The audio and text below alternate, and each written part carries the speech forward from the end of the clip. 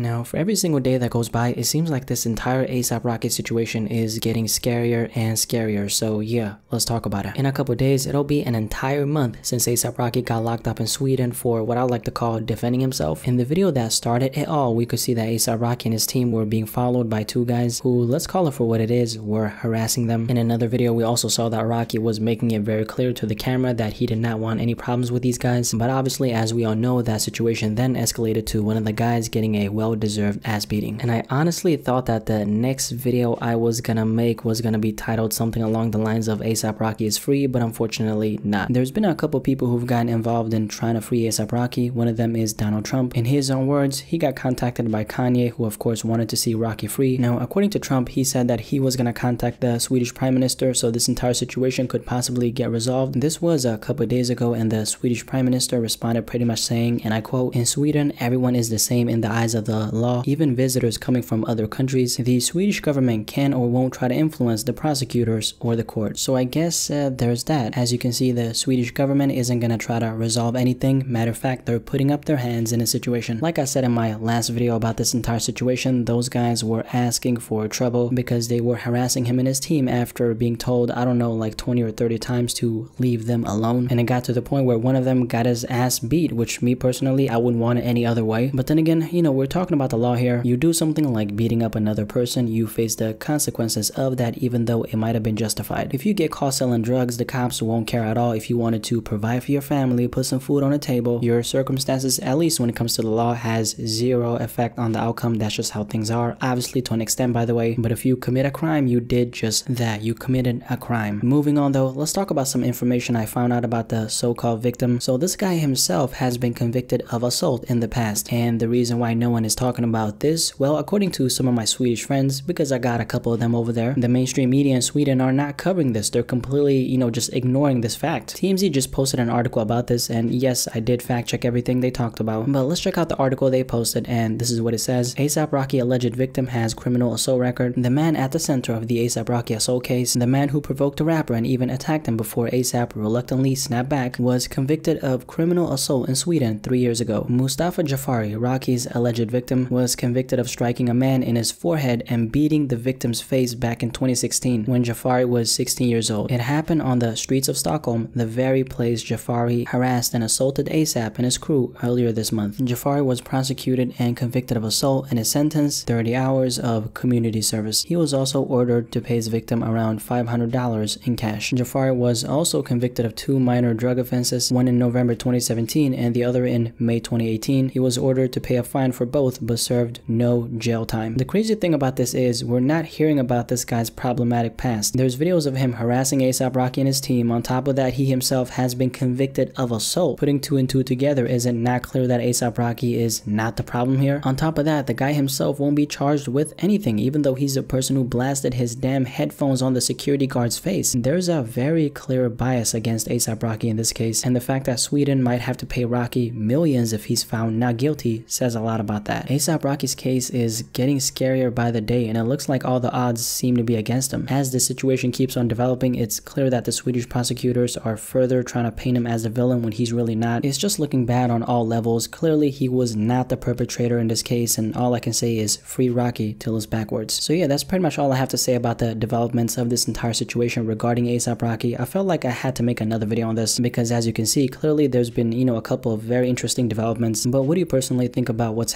happened thus far? Everything from, you know, the victim's criminal past to Donald Trump stepping in to how the Swedish legal system are handling ASAP Rocky's case. What do you think about this? Definitely let me know in the comment section below and let's have a discussion about this.